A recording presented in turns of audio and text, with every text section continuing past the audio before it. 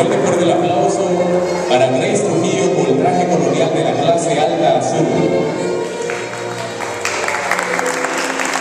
Es impresionante, Antonio, ver la majestuosidad de los trajes, la verdad es el talento del arte que en aquella época le ponían a toda esta belleza del traje, la verdad es que sí.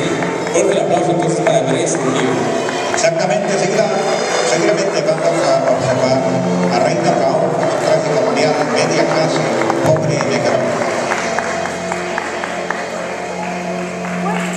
importante tomar en cuenta cómo cada clase tenía su, su propia vestimenta. Yo creo que eso se repite hoy en día. claro, claro que sí. Se identificaba claramente a cada una de las personas por la- a la clase social que pertenecía debido al traje que portaban. Qué interesante, la verdad.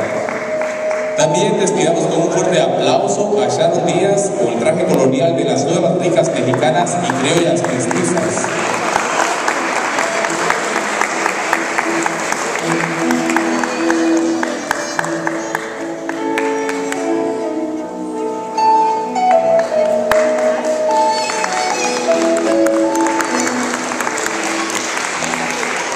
Despidamos también este bello traje,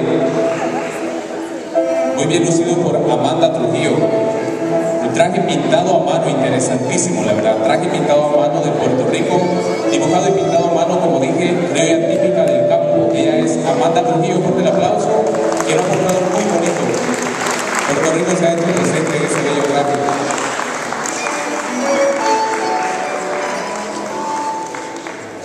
Despidamos ahora al grupo Pura Vida por esos bellos trajes de Costa Rica.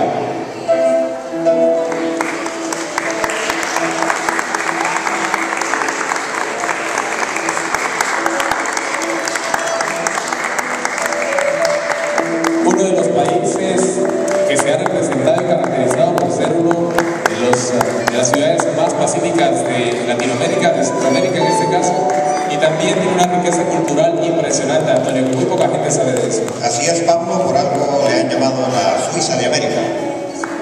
Exactamente. Y una belleza de los trajes y también en los bailes.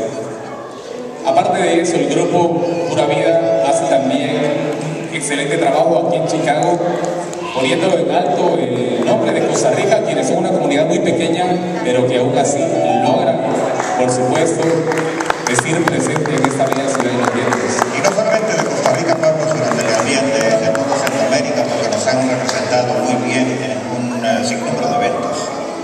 Exactamente. ¿A quién despedimos ahora, Antonio? Traje campesino de Cundinamarca, Colombia, bordado por Diana Calderón. Ese bello país colombiano rico en no solo belleza, sino también sus tradiciones, sus comidas, su gente es algo realmente especial. Y esta noche lo muestra claramente Diana Calderón con ese lindo traje del campesino de Cundinamarca. Fuerte el aplauso para Colombia. Seguidamente despedimos a la representación de Guatemala, señora Ruby García, con un traje de San Pedro Soloma Huehuetenango.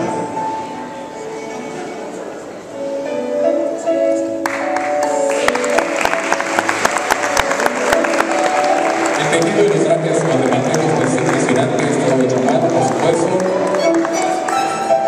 Y ese traje, como decía Antonio, pues es un traje ceremonia, o sea, lo portan nada más en ocasiones especiales y es por eso se resalta la belleza que esta noche, por supuesto, lo porta Ru- Ruby García.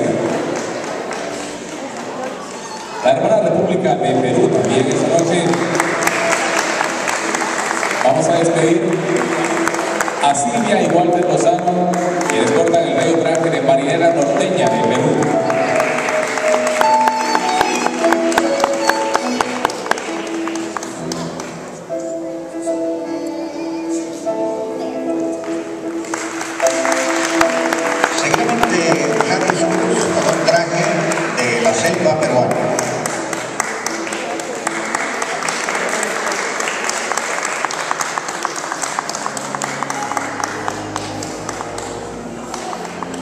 Por supuesto despedimos también a Salvador Marqués con el traje de Panamá.